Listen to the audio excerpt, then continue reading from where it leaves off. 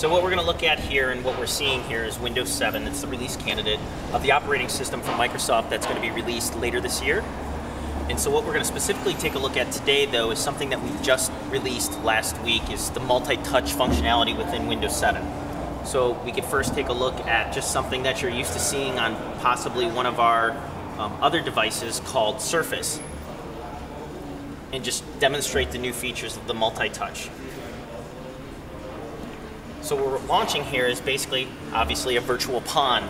But what's really special about this machine and these um, specifically HP TouchSmart machines that are able to sense multiple touch points on the screen, you can see the fish reacting. Um, these machines normally with any other operating system would only be able to really detect one, one method of touch, but with these, I can do various, various methods. And this is um, what we are going to be releasing with Windows 7 called the Touch Pack for Windows 7. This is called Rebound. It's again one of the applications that come with what's called the Touch Pack. So you can see here, it's a very um, kind of responsive touch interface. See how um, you know people can interact with various different things. People um, have a lot of pictures, have a lot of uh, media on their machines. This is a great picture of somebody we, I just took a picture of yesterday. But you can see how I can just grab various different pictures. Here's one of our sponsors, and just do various things with them. Shrink them, rotate them, spin them around, you know, drag and drop. A very responsive touch interface.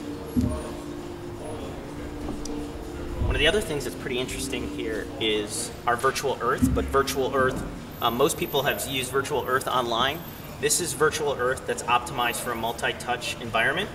So what we'll take a look at is the globe, obviously.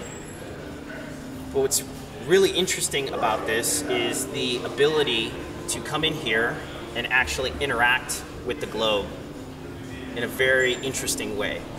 So I can I can scroll in, I can actually rotate the globe. Um, kind of upside down here, so we'll take a look at where we're at here in New York.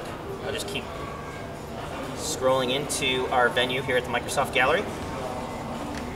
And you can just see, you know, it's a very responsive, natural interface to be able to move around, spin, and get your bearing on where you're at in the world. Again, this is the Microsoft Virtual Earth for the Touch Pack. We have, there's a few more applications in it, but um, I think you're getting the idea of what multi-touch is all about on Windows 7. We have another one called Blackboard um, that is basically a physics game where you drag and drop and maneuver different things on the blackboard. So you can just move these things. Kids can learn how to make balloons move around, but it really immerses you into the experience. And multi-touch can be used not just in um, client applications, but also in just normal everyday applications. So Windows 7 was really designed um, to have touch in mind. So you can notice that the taskbar is a little bit larger here than what you might be used to seeing in, say, an operating system like Windows Vista. And I can just really do just about everything with my finger here. Um, I don't even really need the keyboard and mouse because I do have a virtual keyboard as well that I can use.